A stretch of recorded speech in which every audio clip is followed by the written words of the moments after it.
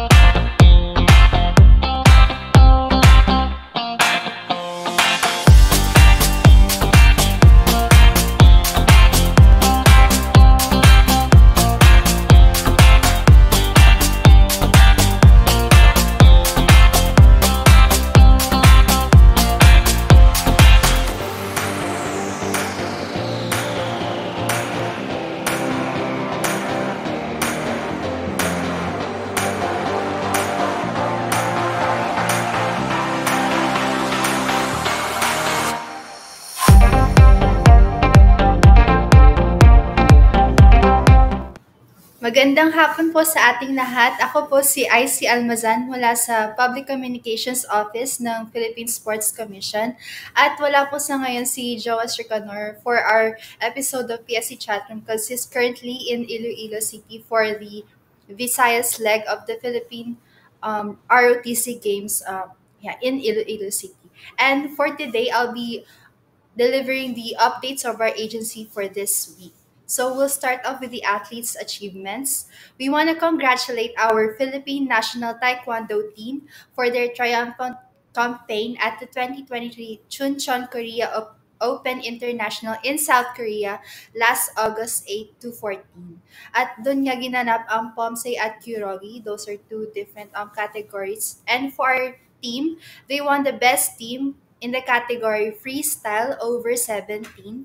And for the individual individual division, lumahok si Ian Matthew Corton na nakapagwagi ng gold sa individual male G2 event under 30 and for Darius Venerable, nakapagwagi siya ng bronze sa freestyle individual male G2 event over 17 and for Antoinette Medalada, nakapagwagi siya ng silver sa junior individual female international and for Junni Nobla na nakapagwagi ng bronze individual male senior for under 60.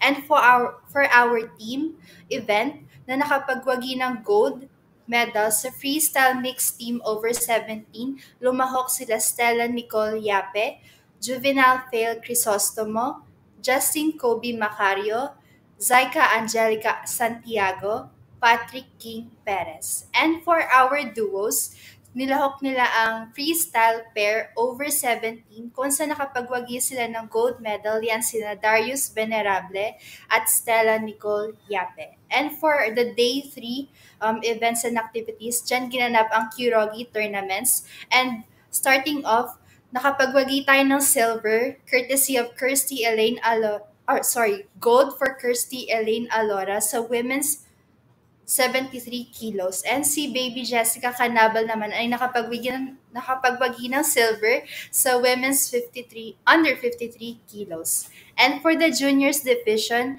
lumahok sina Kurt Michael Curata na nakapagbagi ng silver sa under 51 kilos, si Rodito Sinogbojan Jr. na nakapagbagi, nakapagbagi ng silver sa under 48 kilos, si Caitlin Julia Carlos na nakapagbagi ng bronze medal sa under 44 kilos at si Tatiana Mangin na nakapagbagi ng silver sa under 49 kilos. Again, congratulations sa ating um, taekwondo team na lumahok sa 2023 Chuncheon Korea Open International sa South Korea.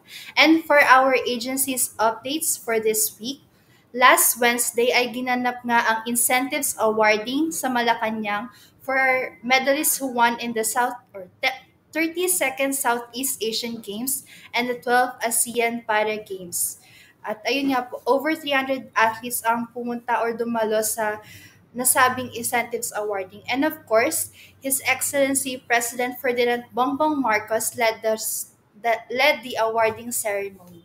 At sabi niya nga, ipinagmamalaki namin kayo, kaya susuklian na, namin ang inyong ginawang sakripisyo. And for all of for those who don't know, after the ceremony, the Office of the President actually announced that the President will be doubling the incentives of the athletes. And of course, in attendance in the ceremony were the Philippine Sports Commission, headed by Chairman Richard Bachman, together with Commissioner Matthew Fritz Gaston, Commissioner Olivia Bonku, and Commissioner Edward Heiko, of course, together with Commissioner Walter Torres. And notable personalities were also present in the awarding ceremony, namely PAGCOR Chairman and CEO Alejandro Tenco, Philippine Paralympic Committee PPC President Michael Barredo, and Philippine Olympic Committee President Abraham Bambol Tolentino, and of course, Senator Francis Tolentino. Again, we want to congratulate ang ating mga atleta na kapagkugi sa um, 32nd Southeast Asian Games and the 12 para SEAN ASEAN Para, Games. And for the agency's um, updates and official announcements, we wanna um, announce that the National Sports Coaching Certification course is back for its second batch of participants. So starting this year, the NSCCC's Level 1 is for sports science lectures to be conducted entirely online, while Levels 2 and 3 will be focused on sports-specific trainings. So para sa ating mga coaches and trainings dyan, um, you should watch out for our um, updates on this course. Um, that's posted on our um, official Facebook page. So for this year's NSCCC sports specific training, we will be offering for nine sports specifically. So that's aquatic swimming, athletics, tennis, badminton, gymnastics, judo, table tennis, taekwondo, and weightlifting.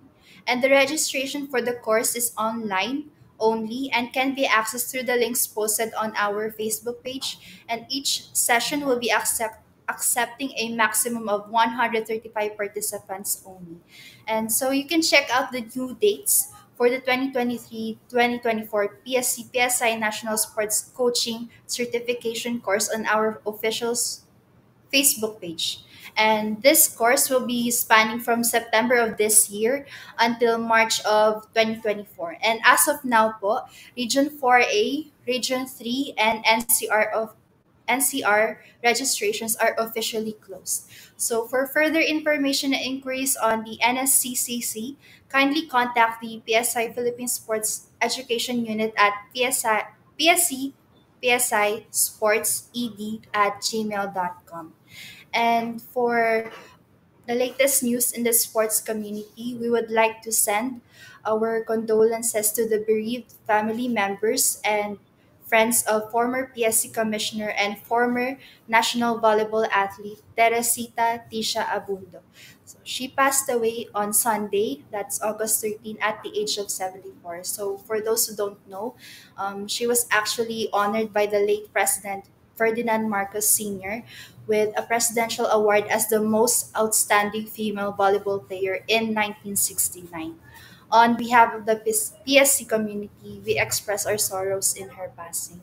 So that's the latest news for um, our agency for this week. And moving on, um, we'll be giving you the latest updates on the ROTC Games Visayas leg currently held in Iloilo City. So, nandun nga si Joash Ricanor to give us the latest updates on the happenings and events um, live from Iloilo City. So, um, hi Joash, kamusta dyan?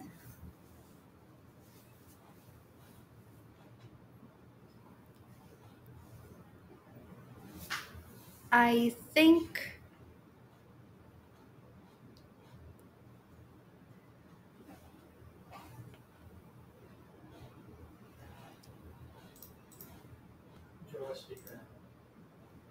Joash.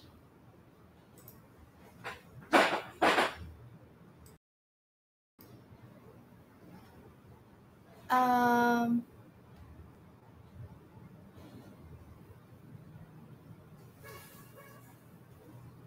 I think there's something or there's some technical difficulties. Wait lang. Let me check.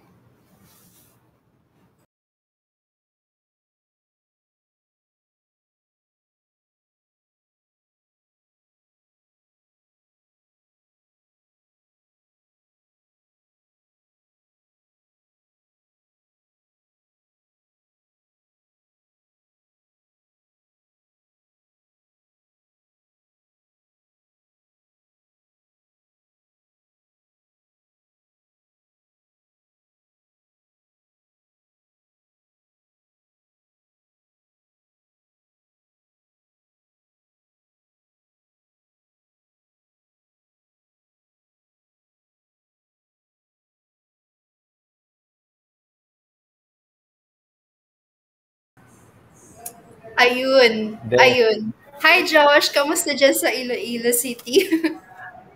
Ayun, ayun. Uh, thank you, IC, sa introduction. Uh, hello everyone, kamusta po kayong lahat? I hope uh, I hope kahit paano no, klaro po yung aking audio and uh, video ngayong hapon po na ito. I am live uh, right now po no covering uh, the ROTC Games, the first uh, Philippine ROTC Games this year. Uh, tayo po ngayon ay nasa Visayas Regional Leg and uh, as you know, as you've noticed already, tayo po ay uh, on the na tayo po ay nasa City of Love in uh, Iloilo City. So uh, ang media po, media headquarters natin ngayon ay nasa loob ng West Visayas State University. So may, kung may mga viewers man tayo dyan right now na nasa West Visayas around the vicinity ng uh, area po namin dito. And uh, kasama po namin syempre ang Philippine Sports Commission nandito po no, ang uh, PSC uh, Technical Working Group syempre assisting and helping out ang atin pong uh, RO, ROTC Games Visayas Like hindi lang po kami dito sa ating uh, media committee pero maging to our technical staff, uh, our results committee, our technical is there. Nasa kabilang kwarto lang po sila. So I want to say hi ano, to them on behalf of the working group ng Philippine Sports Commission dito sa Iloilo. Uh, I see salamat doon sa updates kanina and um, marami po tayong nagaganap uh, sa loob at labas ng ating ahensya but uh, we want to extend ang atin pong uh, condolences po muli no, uh, to the family ng mga naiwanan po ng ating former PSA commissioner. One of the best athletes in uh, Philippine volleyball, women's uh, Philippine uh, women's volleyball no, sa Pilipinas, si uh, former commissioner uh, Tisha Abundo is one of uh, I'm very very sure uh, atin pong uh, uh, volleyball community is also syempre mourning uh, with us uh, on this. But uh, syempre po, we're sending our thoughts and prayers to the family. But uh, moving forward, alam ko maraming shinare po si IC na updates kanina. Lahat po yan ay makita nyo sa aming social media accounts. Especially IC, ano, sa, amin, sa ating uh, social media platforms ng Philippine Sports Commission. It's there. Uh, it's there po sa social media platforms ng PSC. Uh, mahahanap nyo po yan no, all throughout our Facebook, Instagram, and uh, uh, Twitter platforms. You can always check it out there. And uh, speaking of our OTC games, uh, marami marami po uh, binagit na nga ni IC no, nandito ako uh, sa Iloilo to give you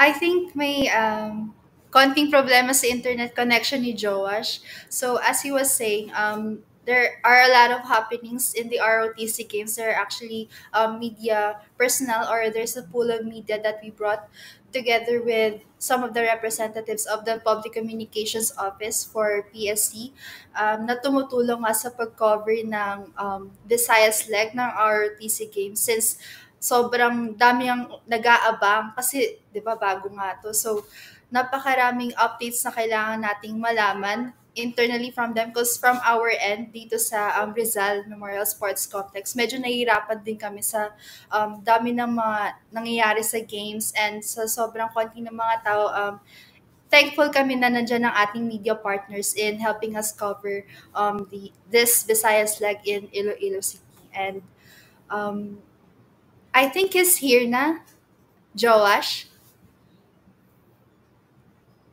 If I'm back on stage. Sige, Okay. we'll have to check. Ayun, uh, thank you, IC. No, as I was saying po, uh, marami po, marami pong nangyayari sa ROTC Games. And I would like to give you uh, some quite updates po dahil uh, nagsimula na po officially ang Philippine ROTC Games. That, that was last Sunday. Itong linggo po yan. And uh, ang uh, ito po ay uh, marami pong nangyari. No? I think as, as I go through uh, the updates, we can show, at least for the appreciation ng ating mga viewers, we can show some photos on the screen. Ayan na po, no? Uh, officially po binuksan ng ROTC Games. Uh, ito pong uh, linggo uh, dito po sa Iloilo, uh, specifically in Iloilo Sports Complex kung saan nandun po no, dumalo ang ating mga officials and uh, VIPs no kasama yung I, I believe over over 600 ano po 600 cadet athletes no? And making up to the 1,000 and more uh, delegations no? Kasama na dyan yung coaches natin technical officials mga working groups natin. Over a thousand po uh, ang a thousand people po ang dumulo sa opening ceremonies ng Philippine ROTC Games sa Visayas. And uh, ayun nga po no as, as seen on the photos on your screens uh, ang atin pong chairman uh, Richard Bachman was also there and uh, together with uh, syempre ang ang ang, ang po ang tagapasimula po ng ROTC Games na to ang ating uh, good Senator Francis Tolentino nandun din po ang ating uh, Iloilo Governor si Governor Arthur Defensor Jr.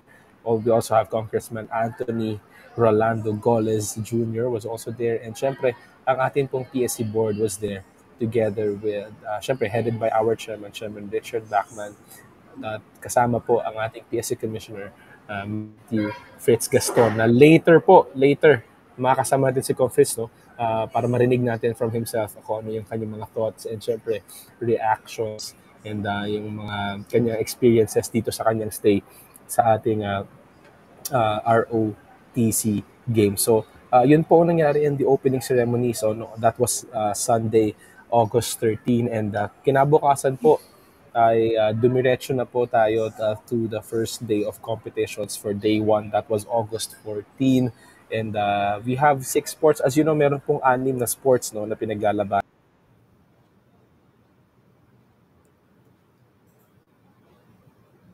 I think nag-drop na naman sa um, live natin si Joash. But understandable naman since mahirap nga yung internet ko, um, connection doon, yung signal doon.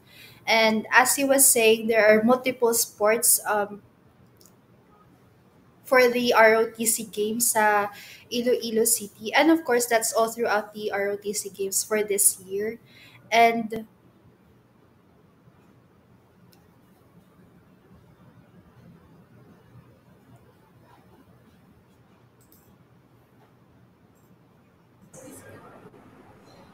okay.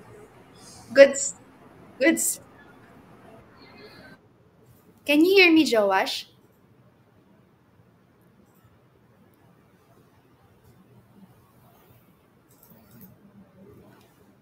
Mukhang nag-stuck up yung video ni Joash. Uh, so for now, we will be playing the um, highlights from the ROTC Games opening um, ceremonies, um, which happened last Sunday, um, August 13. So we have a short clip here that we uh, we will be showing you so that you could further um, get more info and of course be inspired by our cadet athletes. That's showing um, for a couple of minutes.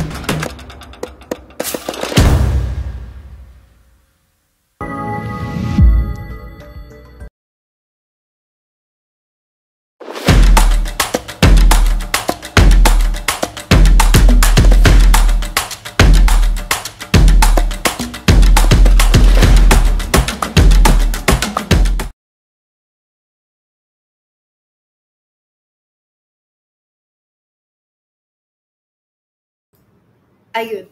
So, um, ayun nga ang clip ng highlights ng ROTC um, Games opening ceremonies happened last Sunday and I think bumalik na si Josh to give us a deeper um, set of information for the ROTC Games happening currently in Iloilo City. Josh? Salamat po. Salamat po sa mga viewers natin for staying with us. Alam po namin medyo nagkakaroon technical difficulties on the internet connection uh, dito po no sa ating uh, headquarters here sa West Visayas State University. But I, you saw, nakita niyo po yung ating uh, teaser kanina no. And uh, again, it was uh, later makakasama si Fritz just to give us his thoughts. Pero nakita niyo naman sa video, it was a very nice uh, opening ceremony po ng mga helicopter pa. I believe there were jets pa uh, na nagkaroon ng mga aerial exhibitions po uh, from our uh, mga kasama po natin sa Philippine Air Force. And it was really a, a great time no, to unite yung ating mga branches ng ating um, military service no, sa ating uh, sa ating bansa. And uh, syempre, mara alam natin, marami na po silang nagawa sa sa ating bayan. But uh, just to, right now, uh, this was a different take of it. No? Uh, now, sila ay magkasama-sama. Uh, and also to to have a good quality competition po. No? Uh, pagdating naman sa larangan ng sports. And kanina binanggit ko yung mga sports ko, hindi po natin na-catch. No? Uh, I just want to share ko yung ating po mga sports na paglalabanan. Sa ROTC Games, we have athletics. Meron din po tayong arnis. Also, basketball is there together with boxing, uh, kickboxing, and volleyball.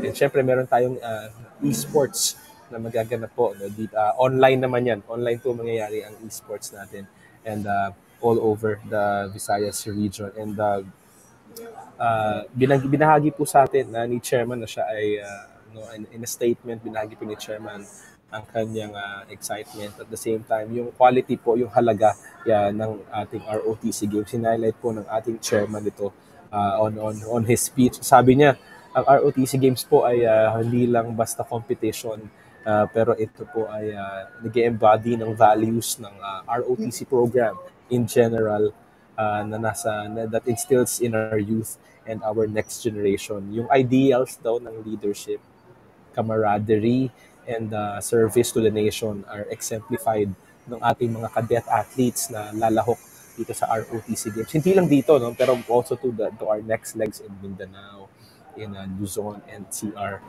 And so y- yun yan. And uh, and uh, yeah, there we go. As seen the photos on our screen, uh, our chairman is also there.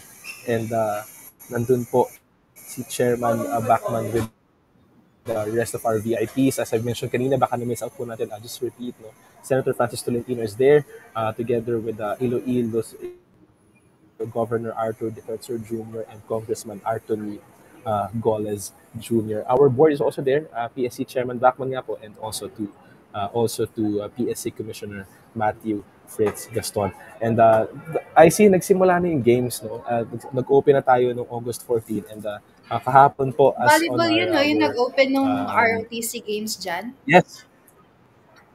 Yes, volleyball yun. And then doon si Com Fritz and Senator Francis Tolentino to open up the games. And syempre, uh, ma-action yan yung mga laban na yan. And uh, uh, yun din yung ikinagulat, no? Uh, and uh, also, uh, ikinatuwa ng ating uh, PSC Commissioner si Com, Com Gaston. And later, share niya yan, IC, as, as, as we hear it from him straight uh, in an exclusive interview. But uh, in the next, uh, ito pong sumunod na araw po, kahapon naman po, nag-umo, uh, kasabay ng volleyball, nabuksan na rin po natin yung mga games natin in athletics. Ayan, in athletics kung saan nagkaroon na po ng uh, first gold medals uh, in athletics. No? Uh, yan si uh, Pipet Revilio ng Filmera Christian School. Yan. Siya po ay nag, uh, siya po ang kauna-unahang nanalo ng uh, uh, gold medal in the women's 200 meter from which run. faction siya um, from, Joash? Galing ba sa AFP or...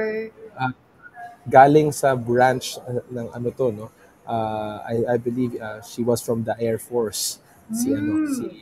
si Medyo hindi familiar sa atin yung pag uh, ano nila ng mga nanalo, no? So it's a different um, set yes. of um, champions for the AFP, then for the Air Force, and then sobrang Iba different yung, regular. Yeah. Uh, Tama. Iba yung format nito, IC. Ano? Kung napapansin nyo no, sa games natin sa Batang Pinoy and PNG, mga LGU-based po yung competitions natin. And syempre, pag nagkaroon na ng medal tally sa dulo, uh, uh, nire-rank per LGU o uh, LGU that they represent. Ngayon po, uh, iba po ang sistema ng ROTC games. Uh, very complex din. But it's a happy, a happy development po no sa para sa palarong ito and uh, uh, sabi sinabi nga ni IC no ang ating pong ROTC games ay uh, naglalaban-laban po ang uh, each uh, branches po no, of military service. So it's Army versus Army, Air Force versus mm-hmm. Air Force, ganyan siya. And ganun din sa medal tally. Uh, hindi na nakalitaw doon, I believe, no? Uh, kung, kung anong school and kung anong LGU you are based but uh, makakount na siya under the umbrella of your ano military service branch. Ganun na siya magiging. So I believe uh, I hopefully today no with, with I think with enough games na nagko-compete na tayo uh, I think uh, hopefully makapaglabas ng medal tally ang ating uh, ROTC games at working group. And uh, when they do makita natin doon yung ranking would be from the branches kung ilang medals na yan something na kailangan nating abangan so kasama ni Pipet Prebilio uh, na nanalo ng unang gintong medalya sa women's 200 ganoon naman sa men's 200 din uh, si Peter Molina also an Air Force cadet uh, sila, siya naman ay nagwagi sa men's 200 meter na gold medal ito kahapon. And uh, tuloy-tuloy po yan. Marami pa pong palaro ang mangyayari. Uh, I, today po, we have a scheduled games uh, for five different sports na I see. That's athletics, uh, that's athletics, that, that's volleyball, Uh, tapos ngayong hapon po, ngayong alas 4 ng hapon sa SMCT Iloilo, magkakaroon tayo ng uh, uh, games for our niece, uh, for boxing starting 4 p.m. and I believe may ongoing na rin for knees and kickboxing. So, uh, medyo lahat na ng uh, sports is also, most of them is also going on the run na. Nagkaroon din yan ng mga solidarity meetings, I see, bago magsimula yung laro, katulad ng format din na ginagawa natin sa Batang Pinoy and PNG. As you know, ay nagka, uh, hinahadil po muna natin yung mga coaches and technical director as uh, para nagkaroon ng solidarity meeting just to get uh, maging in sync lang on the mechanics of the games, the conducts of the games. So, lahat yan. So, bago magsimula. So, hindi lang sila sabay-sabay nagkaroon ng solidarity meeting, but uh, right now, uh, pagkatapos naman ng solidarity meeting na yun, uh, diretso na uh, to compete yung ating mga cadet athletes. So, it's a welcome development. Uh, it's a warm reception po no dito. And nakikita nga rin namin as we go around, ang input kami, uh, our our media friends and ang ating opisina sa Public Communications Office ay umiikot dito just to cover the games. Nakakaiba yung feeling kasi ano eh, uh, most of them kilala, kilala, kilala din yung isa't isa uh, from the different branches. Magkakakilala yung mga magkakalaro Ah, so although under different umbrellas sila, familiar na rin sila sa isa't isa? Mm-hmm. Somewhat they are familiar with each other, I see. Tama ka doon. And uh, dahil syempre, uh, kapag uh, nagkakaroon naman ng mga formation nga ba ang tawag nila dyan, pag nagkakaroon ng mga cadet formations diba, sa schools and stuff, magkakakilala sila although from different branches. So, uh, isa rin tong magandang development for uh, the grassroots uh, program po no, ng ating bansa mm-hmm. dahil uh, malay mo and uh, yun nga as seen uh, as you as you've heard from me no yung ating mga first gold medalists kahapon mm-hmm Uh, madadagdagan pa yan mamaya sa athletics natin. Uh, ngayong hapon din, I believe, simultaneous to our program, may magkakaroon din po ng final final uh, final events uh, for athletics and another set of uh, medalists na naman po ito. Uh, and uh, syempre, uh, for the information din po ng mga nanonood sa atin, uh, kapag nanalo po ng uh, gold medal uh, from, from on a specific event ng ROTC Games, uh, automatically they are qualified for a spot uh, for a spot po no at doon sa, sa national championships.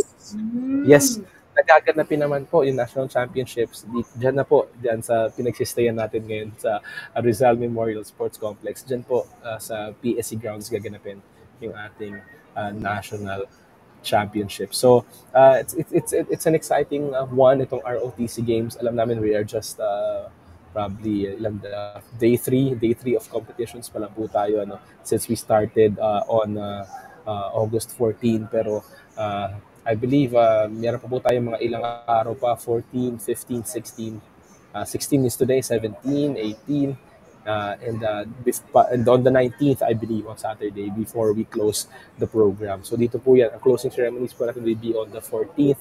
So it's something din na kailangan pang abangan ng ating mga uh, sports fans. If kung may mga may mga kababayan po tayo na uh, nandito sa Iloilo and uh, it's something uh, to uh, something great to watch. No? Panoorin niyo po ang mga Ah, pwede po manood ng live sa mga games?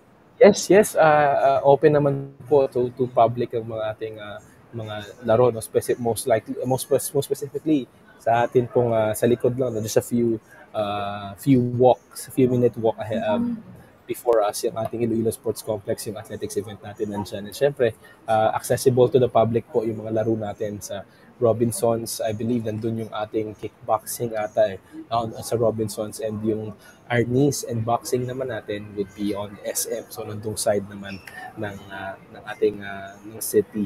And syempre, ah, yung mga ibang events no, syempre they also have their venues as well. So maganda tong ano, maganda tong ROTC games that's very exciting. And later mamaya ano, after ah, siguro magbe-break muna tayo and ah, when we come back ah, bibigyan tayo ah, ng updates ah, ng ating ah, our very own ah, PSC Commissioner Matthew Fitzgerald on on his reactions, yung initial thoughts niya I see on uh, on the start of uh, the Philippine ROTC Games Visayas Regional League. So, uh, mga sa mga viewers po natin will be uh, will be right back. We'll just take a break and uh, when we come back po, we'll give you the exclusive interview uh, with our PSC Commissioner Matthew Fitzgerald. Magabalik po kami sa ilang pala.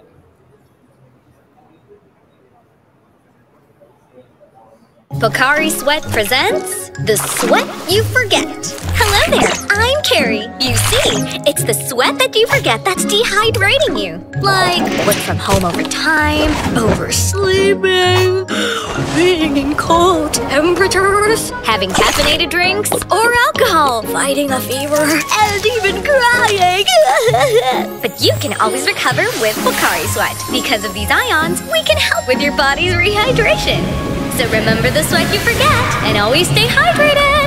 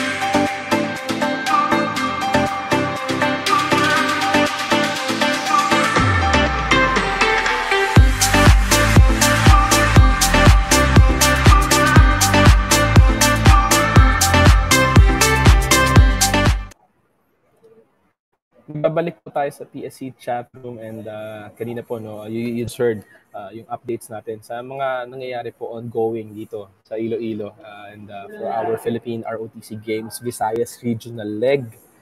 And uh, ito po no, uh, ang ating pong second part ng programa ay we had the chance to uh, to have a small chat no with our our PSC Commissioner si Com Matthew Fritz Gaston uh, nakasama po natin dito uh, together with our chairman from the opening and uh, I think a few days no? Uh, ikot si Confritz just to uh, check on our cadet athletes and uh, tingnan yung status ng ating mga laro. And uh,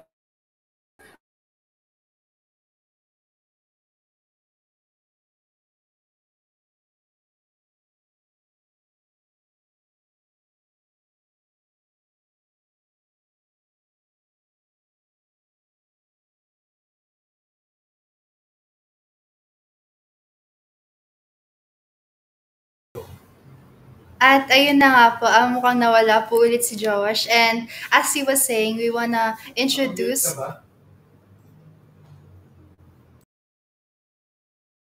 we wanna introduce um, our um, for an exclusive interview na ginanap sa Iloilo City. We wanna introduce PSC Commissioner Matthew Fitz Gaston kung saan nakapanayam namin siya on um, just a few questions about his um, experience and mga observations niya sa ginanap na ROTC Games, um, our um, opening ceremony, and of course, in the duration or the ongoing ROTC Games sa Iloilo City. Um, so here's the clip of the interview that we've gotten with um, PSC Commissioner Matthew Fritz Gaston. Kasama po natin ngayong hapon na to ang ating uh, one of our commissioners uh, sa Philippine Sports Commission. We have with us, joining us dito po sa uh, Visayas Regional Leg ng Philippine ROTC Games. We have Ko Fritzcom. Magandang hapon po. Pwede pong batiin yung mga nanonood po sa atin ngayon sa PSC chat room. Yun, magandang hapon ulit sa ating mga manunood sa PSC chat room. Oh, welcoming you all the way from uh, Iloilo, Ayan. where we have our first ever, ngayon parang siguro ito ang kick-off ng uh, ROTC Games, right? Com, uh, you were uh, given the chance ko na makapag-ikot-ikot po kahit uh, a few days lang po no, uh, dito po sa Iloilo City. Uh, just checking in, syempre the Philippine Sports Commission supporting uh, CHED and uh, Department of National Defense dito po sa ating uh, Philippine ROTC Games. Com, uh, gusto ko lang po tanongin, you were there in our opening ceremonies. Oo. Ano po, baka pwede po i-share sa amin ano po ba yung mga na-witness ninyo, baka magandang uh, highlights na memorable sa inyo on this Okay. very first ROTC. Sige. All right. Well, one is I'd like to connect. I'd like to connect the opening, as you asked, on the uh, effect on the ROTC, which is the event itself, no, and then and then maybe share with you first the the the my uh, my analysis or, or interpretation why we have these ROTC games. You know, this was obviously conceptualized by our good uh, uh, thinker senator uh, Francis Tolentino. He's a thinker and a doer, of course, not like me in, uh, in the Senate. Uh, when I was asked yesterday in the, in the press, uh, what is this ROTC games? Are, are you in favor of this? And all? My, I, I immediately went back in time during my time, no, and even shared it and asked uh, Chairman, Chairman, diba there's a question yesterday, Joas, na is this is mandatory before and oh now they're trying to make it a law mandatory there were questions about this so sabi ko alam mo during our time we did, that was not even an issue it was regularly a part of uh, a student life we had the CAT the PMT in high school and we have the ROTC in college and that was a part of life hindi kagaya ngayon it's a choice no so now there's a struggle between that but again uh, tying it up in sports sabi ko alam mo nung panahon namin uh, in Ateneo, ours was Air Force, ROTC. Ateneo, it's tied up. Si Chairman Lasal is Navy naman yung kanila. And how it went before was that we, I was an athlete, I was a basketball national player and PBA. Chairman uh, Cavite or Richard was also a, a, uh, uh, PBA player and a Lasal player. No? So during our times, we were playing for the school. At the same time, we were required to attend the ROTC. See, in fact, we were even uh, uh, recruited to play for the ROCT, ROCT team, ROTC team ng Ateneo and his school. So, even during the time, meron activity, but at that time, it was more like, you do your ROTC, but there are athletes also on the side that do it. Ngayon, ang focus ngayon, if you come back now to this ROTC, is the ROTC um, uh, what we call these practitioners now, or the ones that are choosing to to uh, take up ROTC instead of music instead of uh, these other disciplines so until it becomes mandatory, is that they are given a chance to be athletes also. See, that's the main difference. And now I'd like to tie it up yung sinasabi mo to their opening. It gives them a glimpse of how a real Olympic opening or an Asian opening uh, uh, sports events, no? and these are all just ROTC participants. I think it gives them not only that, but a hope and a chance to say, hey, hindi lang pala kami ROTC. Pwede rin pala kami ngayon maging athletes to the level of international, to the level of elite athletes. So that's basically my, my, my impression of this uh, ROTC games. Yan, syempre kung uh, coming in, nasa city, nasa city of love nga tayo ika nga. Tala, Oo. feeling ko, I think they gave uh, very, very nice opening para sa mga cadet athletes natin. Kung uh, you're also, had you also had a chance to visit, I think, uh, at in the opening game po natin of the volleyball events and uh, That's correct. kamusta po Yes. ang, uh, I, I think it was in the University of San Agustin. Yes. Uh, kamusta po ang naging reception doon kung uh, you, you watched the Well, games? Yes, yes, yes. Yeah, I watched the volleyball, and uh, you mentioned City of Love. There didn't seem to have love uh, between the uh, opposing teams when it came to competition. But of course, they were very friendly and flood. But when it, during the competition, they were very competitive in schools, and uh, and they were very knowledgeable of the sports. So maganda yon. It was a, a, a good view of the of the competition. And I heard in the afternoon there were a couple of more uh, schools that registered. Kasi di pa close yung registration, some other areas from the Visayas. umattend. So that means there is interest and uh, and and that would provide more competition. Sayang lang, I couldn't go to the uh, athletics this morning. I had to attend the breakfast meeting. Alright. Com, uh, nung the opening as well and uh, over the duration po of your stay here, uh, you were with, uh, may mga moments po kayo with the chairman, uh, with Chairman Bachman and also yung mga officials po natin to have a chance with Senator Francis Tolentino. Siyempre, uh, this is his idea, this is his plan as well, yung conduct of ROTC Games. Meron po ba siya mga binahagi sa inyo, uh, sa inyo ni Chairman Bachman, sir, na parang his vision going forward for the future of our Forum, cadet athletes po? Yeah, well, one, they we are they and I share that feeling of looking forward to the rest of the legs that are prepared. We kept saying na, and, and you can see the excitement and the beam between the two of them also. That is just the beginning. There are what we call bird pains in how it's done. But obviously, kudos to our group, kudos to you, and to PSC for having run the event. Because as you know, you mentioned this is tripartite. Now we are only supporting the uh, between the CHED, the uh, DND, and the and the Office of uh, Senator Tolentino, but they requested us to practically run it. We were the POG, we were the technical, and I think it ran very smoothly. So at the start of this leg, and uh, that's why they are excited, and I share that excitement. Sinasabi nila, oh, ang next leg natin is in uh, Zamboanga. Then ang next leg after that, we come back to Manila, in uh, Metro Manila, and then Pasig. Then after that, eh, oh no, I think Tagaytay muna in Cavite.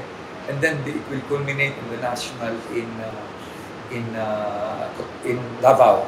So with this, seeing this is a very good at starting opening program and the, the guests that spoke. So like it, it really it really gave an impression of a real run uh, athletic event no in the level of Palaro na ganyan na opening. Pero the Palaro also. Except that there are a lot, lot less team participation. So dahil ROTC lang ito. But yun nga, sinasabi nila that uh, uh, we are very confident that in the next legs, mas dadami na yan, at uh, mas magiging maganda na yung competition. And from us and from me personally, I hope to be able to see some athletes there that will excel that maybe we can pluck and say, oy, pwede ka na sa amin, we can train you for the uh, NTP, no? for our NTP. But in this, if you're in this region, we'll have you train in that region through our uh, regional training uh, program. Uh, siguro po, I'll connect ko lang to your recent uh, answer po. What does this ROTC game po, uh, say about our, ano po, our, our program in general? Yung program po, National Sports Development Program ng PSC at the same time, what does this say about our grassroots sports development? Uh, well, we have extended, grown beyond grassroots natin, and we've defined with this with this uh, participation natin with the RTC, it has become sectoral. Diba? Sectors now. No? We can probably look, uy, okay yata ito, we support that. Then let's look, at other sectors natin of society. We have IP now, diba? We have also IP, and now we have this ROTC, and then we have women in sports, although that's already part of the elite natin. I say it's a mix between women and men. So in other words, we look at also other uh, sectors of society and that we will have uh, uh, gains participation from them. Maybe we will also have the LGBT uh, uh, youth uh, section and, and see maybe they, they are actually they are natural for our volleyball. You know, a good players come from the sector and and, and, and many others. So hopefully it is a for us. One, it's a challenge for us to expand uh, talent identification just grassroots but also sectors already. So it's it's, it's really a good idea. I, I salute uh, all of the ones that, that helped put this up. You know, starting from uh, the chairman of ROTC, Senator uh, Francis Tolentino, and the chair and the, and chair and then of course DND you know, for having that. And uh, as I said earlier, with our help, we should be able to, to be able to, to increase our chances of finding uh, good athletes and, and, and uh, for our national as well as our mandate to provide sports for all support. Thank you ko. Maraming maraming salamat po. Thank you, Okay, salamat din. Uh, uh, keep watching. Yeah, thank you po.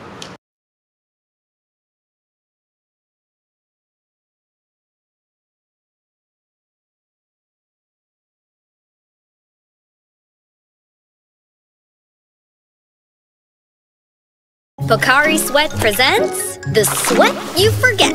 Hello there, I'm Carrie. You see, it's the sweat that you forget that's dehydrating you. Like work from home overtime, oversleeping, being in cold temperatures, having caffeinated drinks, or alcohol, fighting a fever, and even crying. but you can always recover with Pocari Sweat. Because of these ions, we can help with your body's rehydration. So remember the sweat you forget and always stay hydrated. Pocari Sweat. Pocari Sweat presents The Sweat.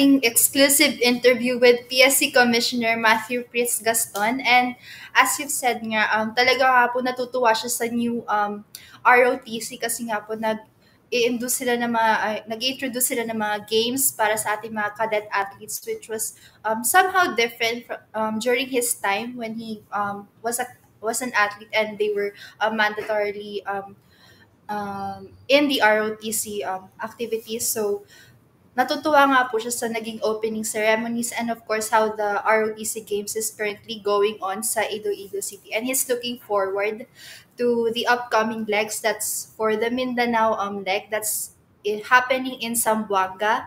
Um, we'll actually be there together with um, my back-end specialist here, um, Benedict. And of course, sa Luzon leg naman, that will be done in Cavite. And for the NCR here in Rizal and then the Nationals, of course, here also as well in Rizal and in NCR overall. So, yun na nga po ang latest updates natin from the ROTC games. And if you wanna be updated on the current happenings, not only just in the ROTC games Visayas leg, but also with for the agency's um, activities and events, you can always check our official social media platforms shown below here. So you can check those out. So um, again, on behalf of the PSC community and PSC um, agency, um, from Chairman Richard Bachman to the PSC board, four commissioners, Commissioner Olivia Bonku, Commissioner Edward Heiko, Commissioner Walter Torres, and Commissioner Matthew Fritz Gaston. We want to thank you all for tuning in weekly on our PSC chat room. And yeah, um, thank you for tuning in. And you can also um, get updates next Friday. That's on PSC Hour with Radio Dos Filipinas. Same time, 1 p.m. Um, live as well on Facebook and on Radio Dos Filipinas social media platforms. Again, ako po si IC Almazan ng Public Communications Office ng PSC na naghahatid sa inyo ng latest updates for this week. See you again next week and on Friday po. Maraming salamat.